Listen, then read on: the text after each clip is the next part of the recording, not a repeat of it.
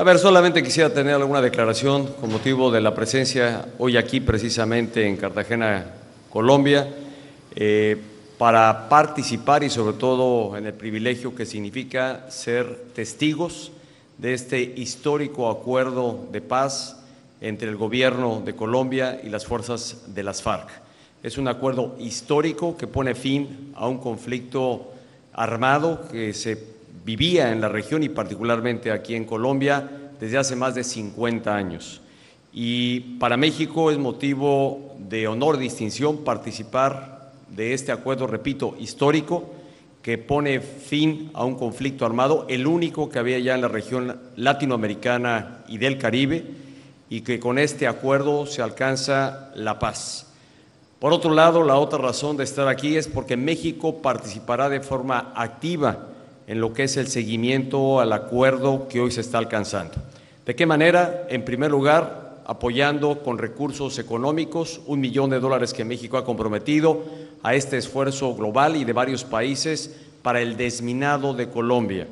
Aunque parezca sorprendente, pero hay regiones dentro de este país hermano que tienen minas que han costado la vida a muchos colombianos, que han dejado a muchas personas mutiladas porque son minas que explotan y que están extendidas en distintas partes de la geografía de este país hermano. Vale la pena señalar que Colombia es el segundo país con mayor número de minas colocadas solo después de Afganistán. Por eso el compromiso que México ha asumido de participar activamente en este apoyo y respaldo para el desminado que habrá de realizarse aquí en Colombia.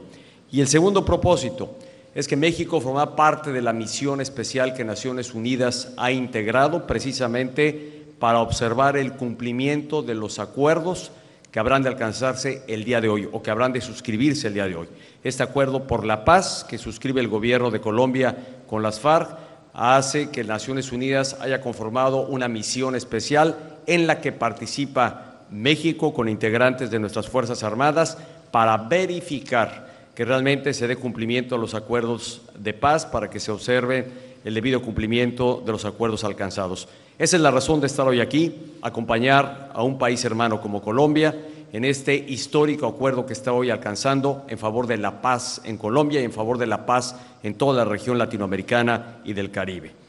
Lo segundo que quiero hoy compartir, a dos años de un muy lamentable hecho ocurrido en nuestro país, los hechos de Iguala allá en Ayotzinapa, solamente para reiterar el firme compromiso que tiene el Gobierno de la República para realmente eh, trabajar a profundidad y ampliar las investigaciones que correspondan por parte de la Procuraduría General de la República a efecto de que realmente estos hechos queden debidamente esclarecidos. No hay otro interés, más bien el único que el Gobierno de la República ha puesto por delante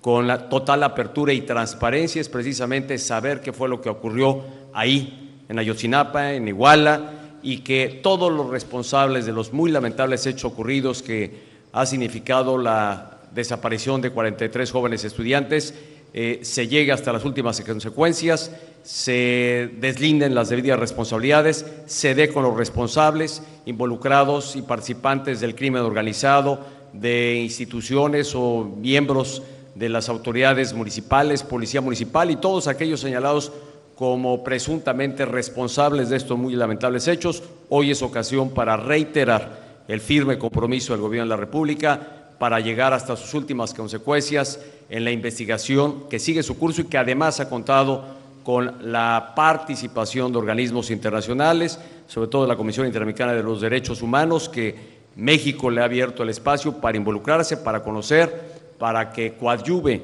en los trabajos que correspondan a la autoridad responsable de llevar a cabo la investigación, que es la Procuraduría General de la República. Agradezco a los medios de comunicación que el día de hoy nos están acompañando en esta visita hoy a Colombia, rápida, una visita corta, pero yo creo que de enorme significado histórico para la región latinoamericana, que es presenciar, atestiguar y comprometernos en lo que significará el logro de este acuerdo por la paz en favor de Colombia y en favor de toda la región latinoamericana y del Caribe. Por su atención, muchísimas gracias.